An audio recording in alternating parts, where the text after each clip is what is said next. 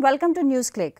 The spat between the governor of Kerala and the elected government of Kerala has reached unprecedented proportions. The latest bone of contention is the vice chancellors of 9 to 11 universities in the state. The, we have with us a special guest, Mr. Thomas Isaac. He's the former finance minister of Kerala and a senior CPM leader. He's going to try and tell us what really are the issues over here. Thank you for joining us, sir. Um, Mr. Isaac, why is the university issue so important? Can you begin by telling us why there is this argumentation between the governor and the government over this? Well, the fight is not between the governor and the elected government of Kerala. It's between RSS and the elected government of Kerala. Virtually, RSS has captured or near captured the vice chancellorship of almost all the public universities in India in various ways.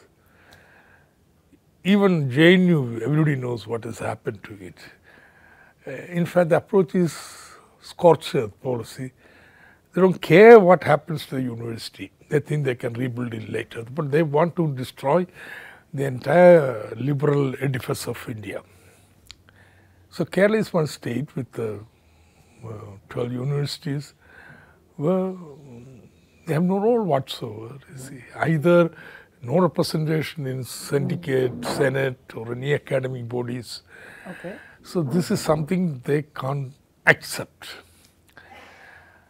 Therefore, they are using the agency of governor who happens to be by the law legislated by the Kerala Assembly, the chancellor. Right. So the chancellor has certain rights, but chancellor's rights have been defined by the law. Right.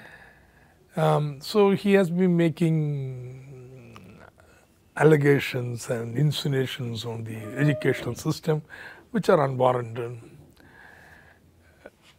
We ourselves are not very happy with the higher education in Kerala. Let me put it that way. Okay. What there is a bill which is also being passed by the assembly. How will this bill sort of help counter the RSS, as you say, and sort Okay. of yes.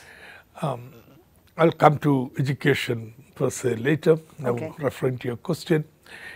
So, there is law of the university passed by the Kerala Legislative Assembly. There is UGC Act by Government of India. Now there are also regulations of UGC. There are three sets of things. Kerala Assembly has said a search committee of three would make recommendation to the chancellor, which consists of um, chancellor's representative, government's representative, UGC representative, and uh, it can be one or three. Candidates. The, uh, panel, they can panel, or if they are agreed upon one, they can give one. That's the Kerala law. Now, the UGC Act says everything about everything else, but do not mention anything about how appointments to uh, the vice chancellors should be done. But UGC now, through its regulations, has made it a five-member um, search, Search. committee, which uh, more representation for UGC, so that virtually this committee can be manipulated to appoint an RSS fellow. Kerala government would have only one representative. Normally, if it is going by merit of the academic who is selected, shouldn't matter at all. That's right. Now, the present practice in India, merit has the least per se. It is political, the um, Hindutva uh, allegiance that matters. And therefore, there is a possibility this would be used by the governor who's acting as chancellor to this. Now, this is a situation, all posts were filled. Now, something happened the search committee consisting of only three, not five as per UGC regulation, identified uh, one person only Rajashree, Dr. Who's eminent Right. uh, technical expert, uh, to be the Vice Chancellor of Kerala uh, Technical University. Right. So she was appointed, she was working, but another person from Cochin University Academic filed a case in saying that UGC regulations say five and therefore the appointment is null and void. High Court single bench threw it out. Division bench also approved it, saying that there is no breach in the procedure. But went to Supreme Court, the other judge said it is against the violation of central law. It's a mm-hmm. concurrent subject. Therefore, central law would prevail, and therefore, that selection is Null. not null. Yes. As against this, there are very senior experts who argue there is no central law on how to appoint. Obviously. It is only a regulation. Therefore, Kerala High Court is right. There are some others who also subordinate legislation, which is some executive order, cannot be above the state government legislation. You Right. see. Yeah, yeah. Parliament is above state government assembly, but how can a UGC, a creature, through executive order, overrule mm-hmm. legislative power of a state assembly? This is the fundamental. This is going to be argued in Supreme Court. And there is a revision petition. Uh, Yeah, that is being filed. So now this person, but court order has ordered. Right. So Rajashree will have to set set um, um, opt out. But the governor uses the opportunity to give a notice to all the other vice chancellors in Kerala that you have asked for the Supreme Court of you cannot, therefore you are asked to resign And first before nine, 11.30 the next day. right. That, that, that's all. You see, there is no application of mind. Uh, you don't give time for a um, search for a discussion. You don't talk with Kerala government. Though law doesn't say the chancellor can act, needn't. But that's another way the country is governed here.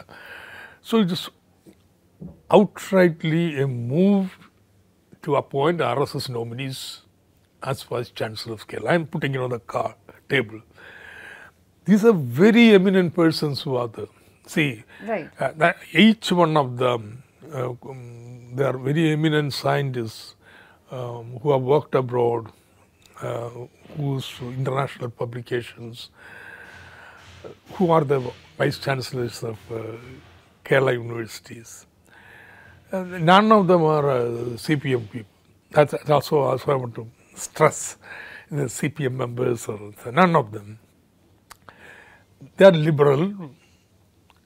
Some like um, Gopinath of Kannur University, Right. is a leftist, but he is not a CPM member. He is, his master's approach to study of history is well known. That's an accepted thing. Well, governor was using this opportunity to capture the universities in Kerala for RSS. So that started the trouble. What happens now? What does the state government recommend these VCs do? So, who gave him this power to the chancellor? We gave him. We legislated. Right. We are going to change the legislature. We are going to make an ordinance and send to him. That's what uh, we are thinking. A political decision has to be made on this. Uh, but that is the way yes, both CPM, CPI secretaries have announced. And um, he may not sign it, ordinance. Indeed. Then assembly will be called to pass this law.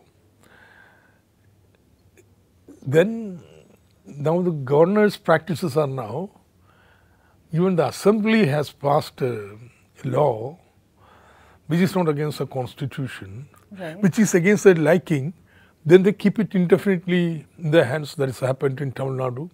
He may do it here. They are going against the whole spirit of constitution is here. What is the kind of law or ordinance that you are planning which would help to tackle this issue that Okay, you're facing? there is uh, there are a number of clauses where powers uh, of uh, governor is dealt with in the constitution. Most important of which is um, 163.1 versus there will be a council of ministers to advise him. Absolutely. So it is advising him. And then in one next clause, subclause 163.2, it says exceptional circumstances where governor can act on his own Discretion. with discretion. So this um, our Arif Khan is interpreting 163.1 to mean that the all the council is to assist him. He has the discretionary powers uh, to do the which is not the spirit of Indian federal constitution. You see, in fact, Ambedkar in the Constitutional Assembly has specifically said um, American, I'm not quoting him from my memory, American president can dismiss his secretary. Um, fully, the secretary's appointment is a pressure of the president. But that is not situation in India, Right. nor with uh, not only president but governors of uh, the state government. They're titular heads because constitution framework requires such a head. So, except for these particular circum issues, Such as like for example whether they have majority is discretionary power he has. But supreme court has said majority must be tested in the assembly but he has a discretionary um, uh, thing.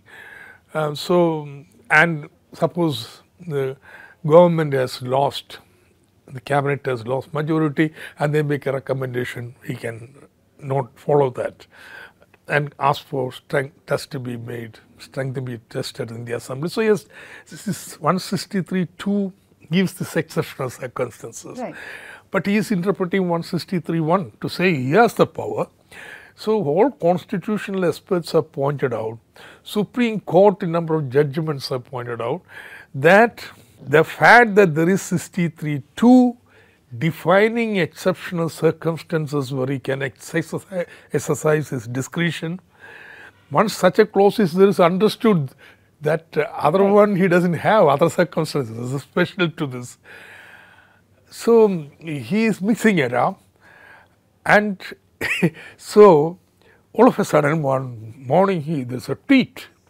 Look at the way a government relationship between a government elected by the people and the governor who's appointed by the high, I mean, by the uh, union government. Right. He tweets, uh, if any uh, minister uh, undermines the dignity of office of the governor, he may stand to lose His my pleasure. so this suddenly all of a sudden pleasure doctrine is brought into the whole debate you know under british And common law. Apparently, one particular minister has lost his. yeah yeah No, initially people didn't understand. Uh, but they already understood. He didn't say i'll throw him out. But because constitution says the ministers hold office under the pleasure anybody appointed Mm-hmm. except few three officers under the pressure of the government then there are conditions for exercise of the pressure. so here the condition is very clear it's the prerogative of the chief minister to decide who should be in the cabinet and when chief minister gives an advice mm-hmm. the pressure is conditional to the advice of chief minister Right. so he is threatening it, a big controversy erupted, etc. Then he seems to be making a leaning view, the press has misinterpreted what I said, etc., etc., etc. So then all of a sudden he sends a letter. Now this finance minister, uh, he has lost my pleasure. I want you to take appropriate action. So at least he, he understood he cannot take an action. Chief minister has to take an action. Chief minister took the action, replied to him, he has not lost my pleasure. So it is the pleasure of the chief minister, the pleasure of the uh, governor, you see. Then what, what is the meaning of all this hullabaloo? On 15th of November, you have planned some kind of an agitation at various places. What is So- this about? this is a political move, not administrative or anything. As I told you, we see it in that line. It's an attempt made by BJP to capture the universities in Kerala. Right. Universities in Kerala are not Marxist universities. you see, I'm an economist. We don't teach uh, Marxist economics. are macroeconomics, Keynesian, Milton Friedman, all, all these uh, things. It's a liberal university system like rest of the country itself. Uh, but there are a lot of le- left uh, persu- persuaded people in the academics, as students, as also teachers, you see. Now BJP doesn't want that. BJP wants Hindutva ideology to dominate the entire university system. How would it help them if that happens? Um, um, see, now immediately no, but RSS uh, plans for long period. Horizon is very long. I think these are not new positions. These are things thought up because the moment NDA came to power, people have been at work uh, trying to mm, systematically making. Otherwise, why should somebody start a fight over uh, television institute in Pune? That has a very significant influence in the cultural making, uh, Bollywood and everything, and BJP wants that. And see the way it has done. Look how all the central universities under the hands, the grip, except JNU. But JNU, you know, everybody knows what happened in the last three years. Right. So it's one of the priority areas. They want to influence the thinking. People still think in liberal terms, intelligentsia in India. Um, India, after independence, in the, all the third world countries had most robust intelligentsia and the third. Um, it was so superior to the rest of the third world countries. You have Ranade and so on. Um, in the 19th century, uh, thinking in terms of um, drain theory, um, uh, third, uh, third world is positions. Uh, so intellectuals of that and um, left academic journals like EPW and so on, which are institutionalizes this approach. So they want to destroy that. You see, um, so The 15th agitation. so that is very important. And even in Kerala, our alternative is to preserve them as liberal bastions. Okay, we don't want to dominate. That's very consciously chosen why all this, um, not um, leftist or masses, but very um, accomplished um academics to be the, the vice chancellors. So this is the challenge. Therefore, it has to be met politically. It's a political issue. Yeah. It's not. It's a political issue, and therefore, we will be educate the people. And how do you educate the people? Uh, you mobilize them to agitations. That's the time when they are very emotional, angry. then you tell them what's happening. So we have a program chalked out to where mobilization is taking going to take place in district, local level, and finally on 15th to march to Raj Bhavan. So people think, are we going to capture Raj Bhavan? Uh, nothing. This, there are there are democratic uh, rights to protest, but we are protesting. But through the protest, we want to mobilize, raise the consciousness of the people of Kerala. About the university issue or a larger? The larger uh, role of the governor or the governor as chancellor, and we will pass the amend the law. And uh, see, primarily the people have got to be with you. See, left, the politics in Kerala is dominated by Congress uh, front and left front. For the first time, left front has come for a second, Second term. consecutive term. Uh, otherwise, normally it's rotating. Switching, yes. And um, BJP has a minor role. They got 12% votes and they're going down. From 16, 2016 election, no, 14 election, they had nearly 15, 16% vote. It has come down systematically 12. Um, so now this mobilization creates also public opinion which will influence think, hopefully thinking, thinking of UDF. Many, Right. some of the senior leaders, including K.C. Venugopal, the General Secretary, has condemned the governor. But they have not been so unique, vocal in Kerala. But in Kerala also, Muslim League, a part of the UDF, has come out uh, against the governor. So we hope that this mobilization also will be helpful in, because it's not against UDF, it's against central government. How can UDF oppose it? So build a consensus on this. Um, try to build a consensus nationwide because other beyond BJP governments are also face, facing same issue. So our mobilization is political.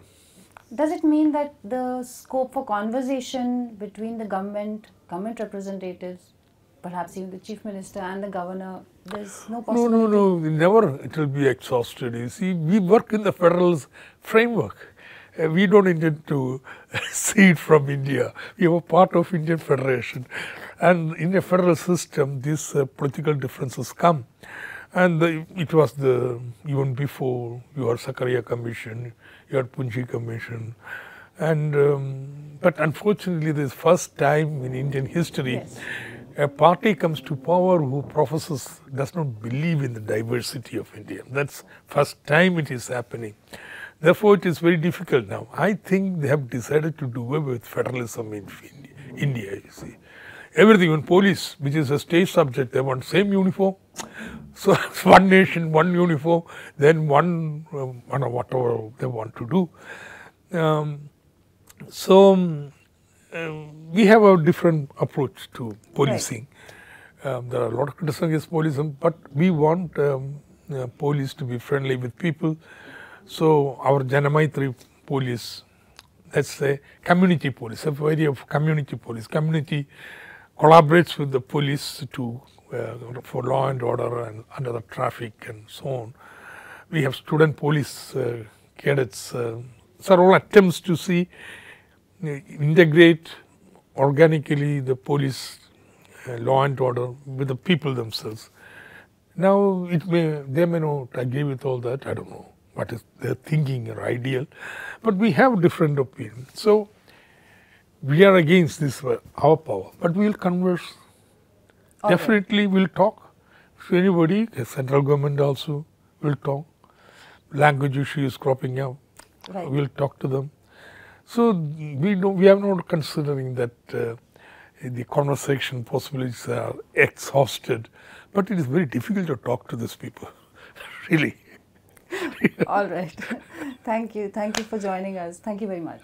Thank you very much for joining NewsClick. Do subscribe, do share our videos. You'll find us on Facebook, on Twitter, on Instagram, and of course, you'll find this interview on YouTube.